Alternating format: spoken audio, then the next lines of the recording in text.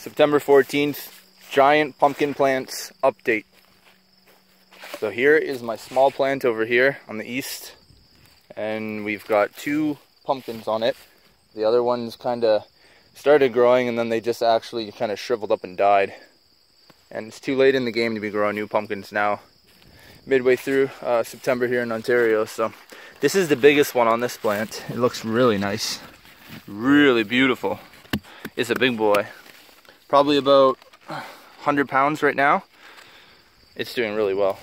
This one had a defect on it, so it's a little bit poor. It had a cut mark in it there ever since it was young, and it tried healing itself, but it just, uh, I think it stunted its growth, so it's not doing quite as well. But that guy in there is beautiful, doing awesome. The plants at this point, uh, main vine is still about the same length.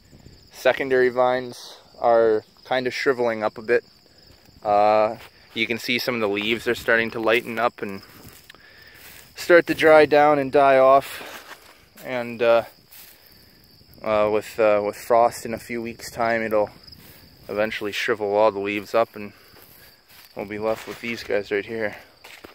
So here's my main uh, plant over here. It's doing awesome. There's two pumpkins on it. This one's on the south. And again, this one had a defect on it, but it's doing awesome.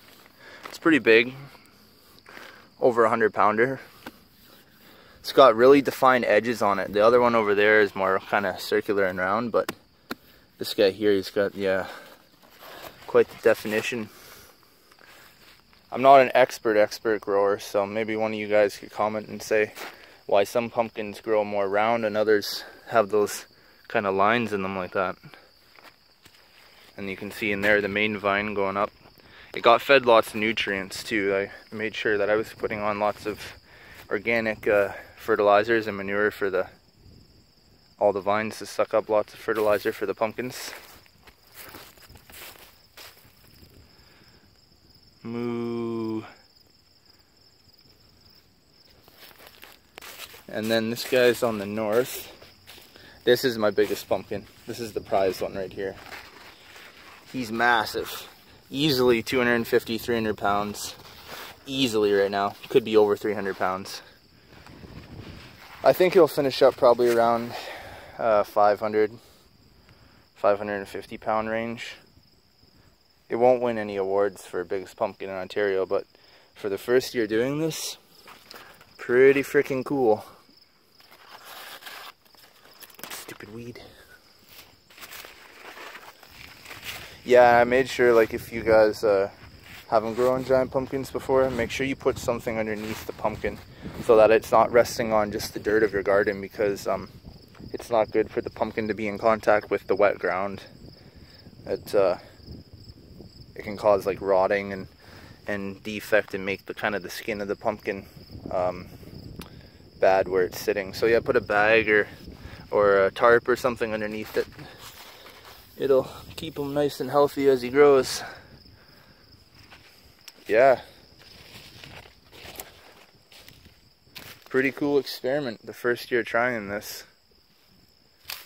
You can see the main vine up here. It's pretty well, yeah, there's no more growth coming. See, it's all dead on the top. So, definitely won't be growing anymore this year. Here's all the secondary vines coming out the the uh, side of the plant. And these, I don't know if I can show you guys. Yeah, so like right in there, if you look in there, right there, it'll attach in the ground. It'll make a root.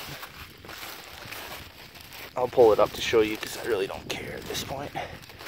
Yeah, so right there. So you see that root system?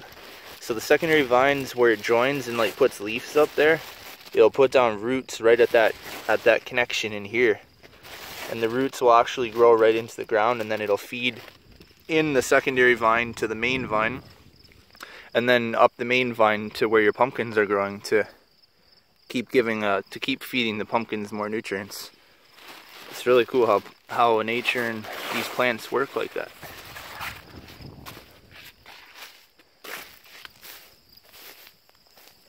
Yeah, so these are the Atlantic giant pumpkins commonly grown in uh, Canada.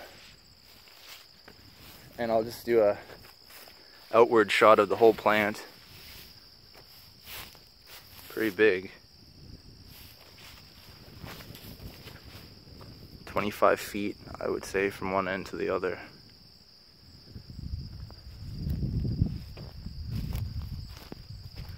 So yeah, if any of you guys like pumpkin pie,